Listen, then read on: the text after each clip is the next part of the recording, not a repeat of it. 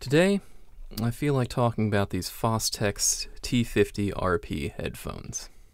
I've been considering getting a pair of these for ages, specifically because I need to know what's inside this weird square bit, but the price was a little bit meh to me. I mean, they're they're not super expensive, but at this price point, there's a lot of exceptionally notable competition. Uh, the Beyerdynamic DT770 and the Audio Technica ATH M50X come to mind there. But then I realized these things use planar magnetic drivers, and suddenly I absolutely had to have them at that price. I don't know how it took me so long to find that out. But anyway, they're here now, and I'm excited to give my observations. This design. I, I just. I absolutely love this design. It's so devastatingly function over form, like a pelican or a helicopter. But these sick orange accents thrown in, I just love the little unnecessary aesthetic details like that. I'd like to note that the other plastic models in the range, the T20 RP and the T40 RP, use the same color of accents, which is a choice I don't agree with. I feel like they should be a little more physically distinguished. Oh, and there's a woodback version called the T60 RP that still somehow has this weird square bit, even though it's hewn out of a piece of wood. Uh, the other plastic models, though, they're intriguing to me. The lower ones aren't actually cost cut versions of this, as far as I can tell.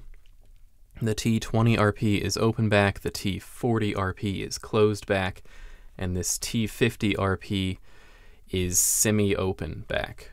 Uh, Fostex claims they're all tuned differently because of this distinction, but terms like deep bass and focused bass don't seem incredibly helpful to me.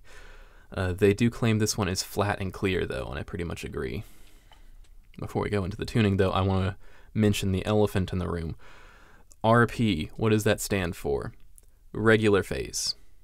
What does that mean? Unclear as far as I can tell. Uh, there was a forum post I can't find anymore where somebody was suggesting that it's got to do with how they handle flexing of the driver.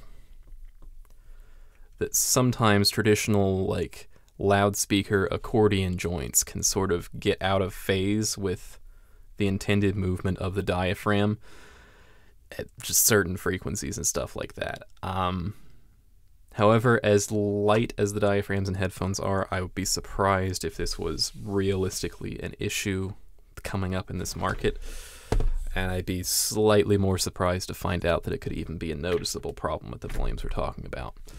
I don't like when companies come up with a fancy buzzword name for technology they employ and don't explain what it is, but I do like the orange bits, so I'll give them a pass on this. Uh, the tuning it's rapidly becoming a favorite of mine. The bass is powerful and precise without being overwhelming, with decent expression of sub bass below. The mid range seems, well, flat enough, and it's very present and precise. That's important to me personally. You lose so much with a V shape. Uh, the treble is precise and clear, but it's a little on the quiet side. They didn't overdo that tuning choice. These headphones don't stray into bassy territory, in my opinion, but there was definitely an attempt to keep these from becoming too harsh. Personally, I think some extra treble would help it, but that's just me. What do you notice? In all ranges, the term precise comes to mind. Planar magnetic drivers. I'm not going to sit here and say these are perfectly tuned or anything, though I do like the tuning, but they enunciate pretty freaking clearly through the whole range. They do a decent job of enunciating waveforms clearly enough to put an illusion of space into the music, as a reminder that the instruments were separated at some point. The soundstage is also very good. Any recording where they let the room breathe when they were doing the recording, or where the mix is minimalist and simple, these really shine. All the subtle echoes of the room really stand out. I'm kind of surprised I haven't seen these mentioned more than I have, to be honest. I hope the manufacturers aren't like serial killers or something. Uh, that being said, there are some issues that should probably be mentioned. The foremost is the output level. These things are 50 ohms. A, little bit beefy for like modern stuff, but they need a similar amount of power to my 250 ohm Beyerdynamics. This is because planar magnetic drivers are a double edged sword. Would you like a lecture? I kind of want to do a lecture. Feel free to skip around. Some of this is just going to be guesswork.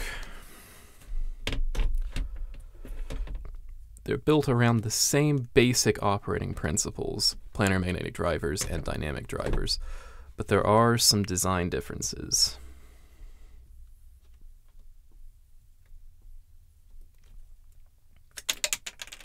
Ooh, that was the most interesting part of the video.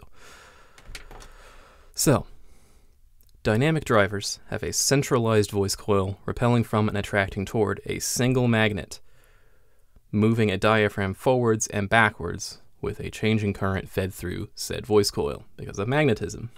Planar magnetic drivers have a more decentralized voice coil spread basically over the whole face of the diaphragm, repelling from and attracting toward at least one grill of magnets designed to provide a consistent magnetic field on a plane, hence planar magnetic. Spreading the coils out spreads out the force from the magnetic coil, which I believe reduces stress on the diaphragm and allows the diaphragm to be a little bit thinner and lighter, as well as providing for exceptional control over the entire face of the diaphragm. There's a strong reduction in wobble and improvement in control at both very high and very low frequencies. But it also seems to reduce the field strength that can be generated by the voice coil at a particular voltage. The stacked coils on the dynamic driver sort of reinforce each other. You don't get that here, of course. Uh, the magnets also have to be placed far enough away from the diaphragm that they won't collide with it, limiting both the effective strength of the magnetic field at the diaphragm's position and the driver's maximum power handling capability. Dynamic drivers have the same difficulty with leaving room for movement, but the coil can go like around or inside the magnet. Not so here. You don't want strong enough magnets to like erase a hard drive or anything or stick to cheap earrings. That would be fun. So, yeah, that's a huge chunk of the character these things. Just precise drivers that really aren't energy efficient. They work fine with everything I've tested them on, but yeah, they need pretty high output to work at reasonable volumes. On to more basic things that matter more. They're not really comfortable. Look look how thin these cushions are. Like th- these have not collapsed or anything. That's just how they are. Um, there are aftermarket ones you can get, but I mean that might change the sound. Uh, also, this bright orange cable that I like with with the little locking end bits. These are apparently pretty delicate. Uh, tons of people make custom aftermarket cables for these, but also the actual terminal in there is just a regular three and a half millimeter stereo connector, so if you find a generic cable that doesn't interfere with the locking element, it'll work fine. Unsurprisingly, semi-open is open enough that these don't block much of any sound. I guess they're just like slightly more closed off than the ones that are labeled open, while still being classically open, but yeah, these do not isolate. All this being said, I really like these things. They're rapidly becoming a favorite of mine. I'm very, very excited to open these up next time. Make sure you stay tuned. thank you for watching. I hope you have a good evening. Like and subscribe if you want, or don't. I'm not your dad.